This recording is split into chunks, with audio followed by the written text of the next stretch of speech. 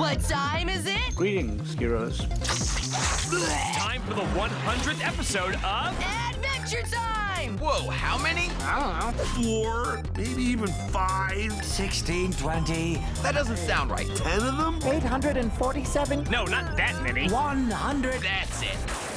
Oh, right on. You good now? Adventure time! Don't miss the 100th episode. Monday at 7:30, 6:30 Central. Only on Cartoon Network. Three times.